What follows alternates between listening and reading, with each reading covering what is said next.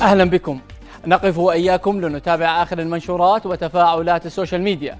البداية مع إعلان الجهاز الفني لمنتخبنا الوطني بقيادة المدرب عدنان حمد عن قائمة ضمت 26 لاعبا لمواجهة المنتخب الفلبيني وديا. وجاءت التعليقات متباينة. البعض انتقد التشكيلة المختارة والبعض الآخر رأى أنها مثالية. نذهب إلى لبنان. ومع انتهاء الدوري ودع محترفان خارجيا إبراهيم الرواد وسليمان أبو زمع نادي طرابلس لنهاية رحلتهما مع الفريق. حيث نشر أبو زمع صورة له مع الفريق على صفحته الرسمية بالإنستغرام وكتب أود أن أقدم شكرا خاص لنادي طرابلس. كان لي الشرف أن أكون جزءا من هذا النادي العريق. كنتم بالنسبة لي عائلتي وأكثر. وداعا طرابلس. أما الرواد فعبر عن فخره وسعادته بهذه التجربة عبر صفحته الرسمية بالفيسبوك شاكرا النادي والجماهير.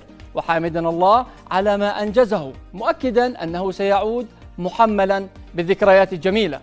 نكمل مع الاحتراف الخارجي حيث عبر لاعبنا عبيدة السمارنة عن سعادته بالتحاقه بنادي الخور القطري.